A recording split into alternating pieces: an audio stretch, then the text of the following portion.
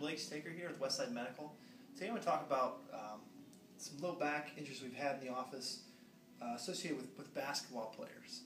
Now, the, the basketball players I get, they're relatively young, you know, they're, they're 20s and they have these disc issues that you usually don't see in, uh, kids in that, that age bracket. What happens is basketball itself is a very repetitive, stress-oriented sport. You do a lot of jumping.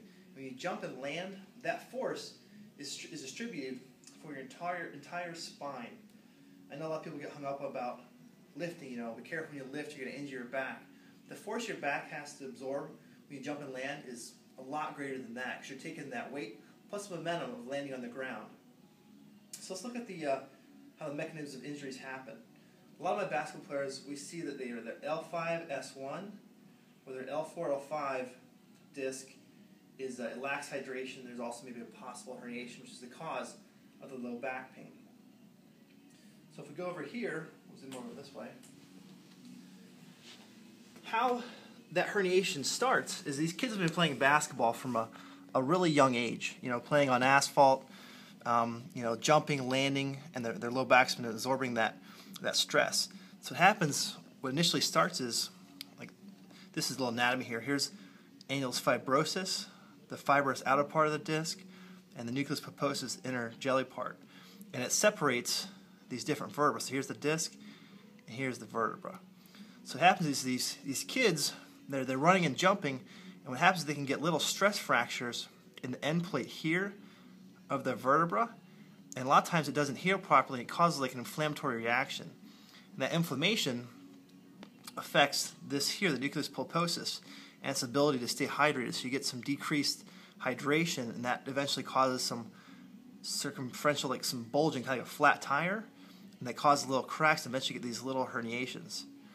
Um, and so what we do in our offices, we want to get the patient in a position where they have the lowest inner disc pressure, as well as you want to perform an exercise where it's not going to stress and compress the back, yet still strengthen it. So exercises like a, like a deadlift and a squat, they're, they're good exercise, but you don't necessarily want to do it with somebody, with somebody that has uh, a disc injury. And that's where the reverse hyper in our office comes in.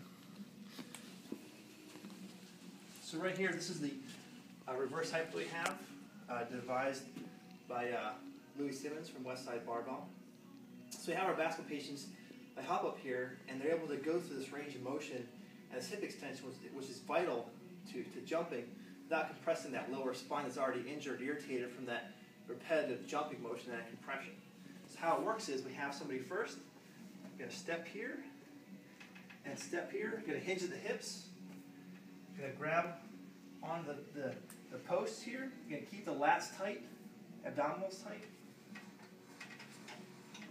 feet in here, comfortable, and have them work here. So there's that traction, it's stretching out that, that low back, causing that distraction in the disc, then the compression. And that compression and distraction helps pump out the inflammation, helps that disc heal. And also when you lay in your stomach, you have like a disc that's posterior, as most of them are. This laying down posture drives the disc back central where it needs to be, so it's, so it's gravity aided uh, in, a, in the therapy. So I have them right through here, just go through this range of motion. Right here, it's compress that disc, and then relax it, allowing the pumping of the fluid. So this is also good just for like regular maintenance maintenance of the low back. So you have the basketball players that you know run and jump, and they get the compression. This here also just helps to kind of relax it and keep that compression off the spine while you're able to work on that, that extension.